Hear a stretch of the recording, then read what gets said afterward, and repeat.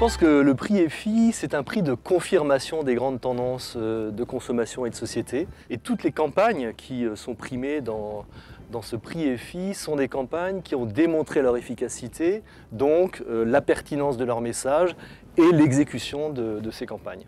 Si on prend un peu de hauteur sur un certain nombre des grands prix qui ont marqué l'histoire des EFI, c'est des campagnes qui pour la plupart font avancer euh, l'industrie, font avancer les marques et c'est ce qui est extrêmement frappant lorsqu'on regarde un palmarès de, prix EFI. Un deuxième point qui est très frappant, euh, lorsqu'on regarde aujourd'hui l'explosion des contenus, l'explosion des marques, l'explosion des annonceurs, l'explosion des messages qu'on essaie de délivrer euh, aux consommateurs, le critère de l'émergence et de l'efficacité, il est nécessaire et essentiel pour qu'une marque sache délivrer un message de manière forte auprès de son audience.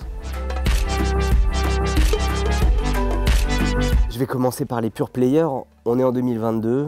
Euh, les pure players, le e-commerce, euh, c'est des marchés qui sont absolument exponentiels. La plupart des nouveaux entrants et des nouveaux annonceurs le sont euh, par ailleurs. Et pour un grand nombre de cas, ce sont des marchés qui sont extrêmement concurrentiels. Et encore une fois, des marchés sur lesquels l'efficacité est un critère absolu parce qu'il faut émerger vite. souvent, il faut jouer des coudes sur la première année.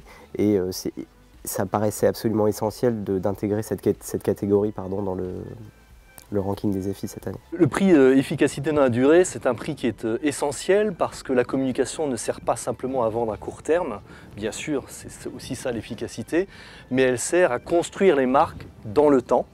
Et ce prix répond à cette question de euh, la construction de la force des marques à travers le temps, ce qui va aider les acteurs à vendre plus de produits et de services et à les vendre plus cher. Donc c'est essentiel. C'est un prix qui récompense la patience, qui récompense l'anticipation et c'est une valeur que beaucoup de marques parfois ont tendance à oublier. Donc euh, bravo aux EFI d'avoir intégré cette, euh, cette nouvelle catégorie cette année. Et aussi un prix qui récompense la fidélité entre les agences et les annonceurs et ça aussi c'est quelque chose d'extrêmement important.